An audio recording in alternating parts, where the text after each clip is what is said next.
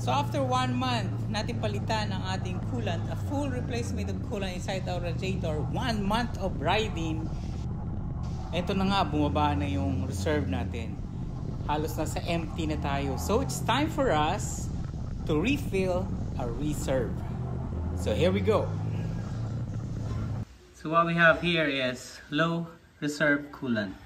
So kailangan natin magdagdag from here to here. Okay, so how we're gonna do this? Since sobrang sobrang masikip. Now, huwag natin pahirapan sarili natin na tanggalin to. Let's just reach that one. Yung takip. So naangat ko na. We'll just have to remove this. There you go. Easy, easy. Whoa, whoa, whoa, whoa, whoa, whoa. Ako malaglag.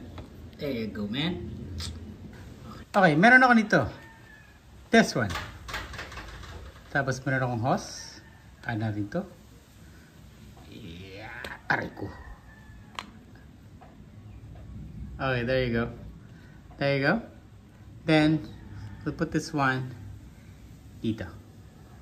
So, make sure na malinis yung ating hose. So, lagay lang natin yan. There you go. More. Itong hose na ito ginagamit ko talaga sa kulan. Para hindi ko panghigop or now this time pang dagdag. Okay, that's enough. Hindi na mahuhulog yan. Okay, we're good. So what I have here is the long life coolant extra. So nagamit ko na to since nag-replace ako ng coolant sa buong radiator.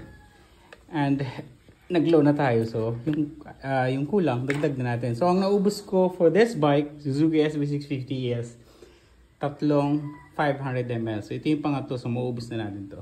So we're just gonna pour it here. There you go. As you can see, they're going in. So right now, meron na tayong full. Actually, sumobra na nga ako. eh. Pero it's okay, it's okay.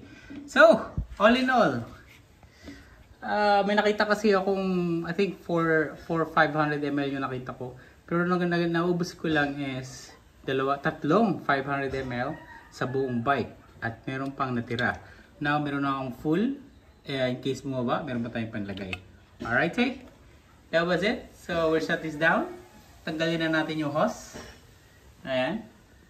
Easy deasy. Easy deasy. There you go. So, we're gonna put back yung takip. Thank you.